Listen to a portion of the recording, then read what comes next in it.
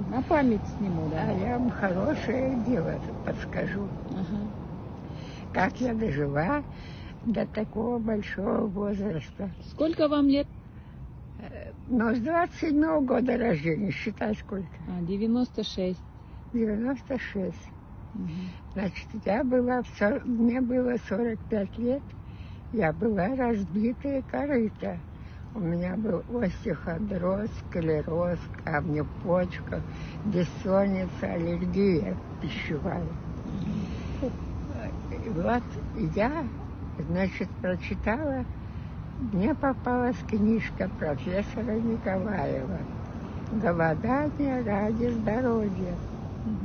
Я ее внимательно прочитала и стала делать так, как он советует. У нас в крови красные кровяные тельца и белые. Красный разносит кислород, а белый пищу и борется с микробами. Если вы заболели и продолжали идти кушать, значит, вы кормите не только себя, вы кормите эти микробы. Если вы перестаете кушать, значит, вы не кормите микробы. И что делают эти белые кровяные тельца? Они такие работящие. Вы хотите есть, а вы не едите, а вас кормить надо. Они начинают рыскать, по- по- по- по- переходят на внутреннее питание. А что такое внутреннее питание? Это клетки, которые заболели, бо- больные клетки. И э, э, онкология, например, это тоже больные клетки. И вот эти больные клетки и съедают их белые кровяные тельца. И вы выздоравливаете.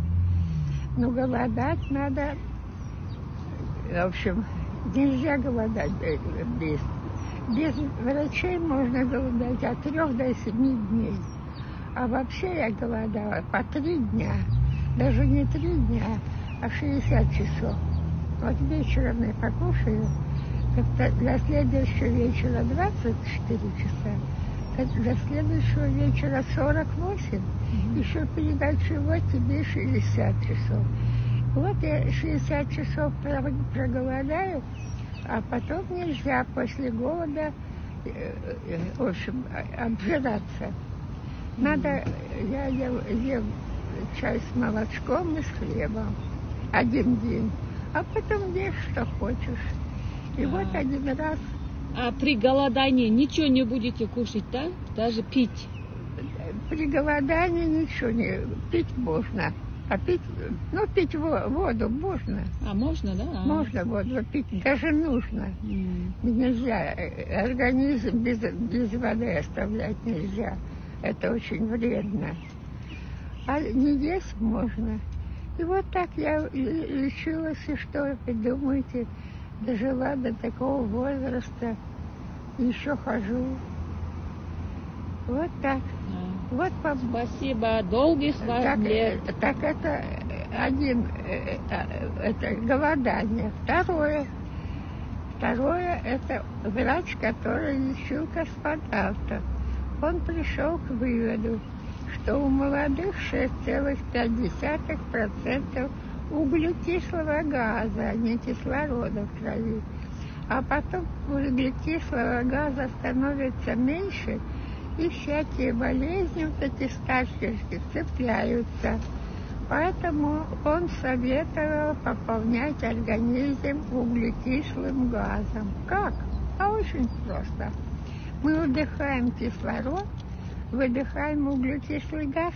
Мгм. Поэтому надо задерживать этот углекислый газ. Как я делаю? Я де- де- делаю уже много лет это дыхательную гимнастику.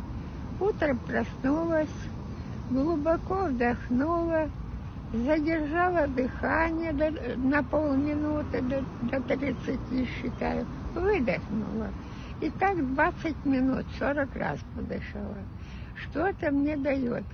Это, во-первых, нормализует состав крови. Во-вторых, если есть диабет, то диабет проходит. Это я почему говорю? У меня дача здесь в горах.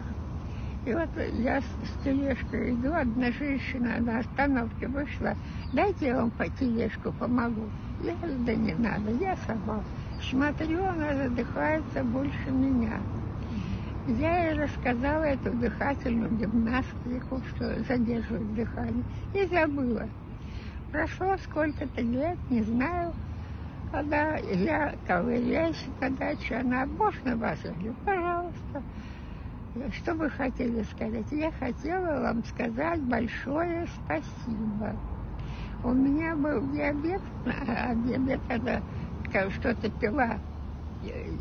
Что пьют от диабета, я не знаю. А потом, говорит, я стала дышать и дышу два раза э, это в день. Перед сном и после сна. И говорит, никаких э, таблеток от диабета не принимаю и чувствую себя отлично. Вот он бесплатное лекарство. Спасибо большое.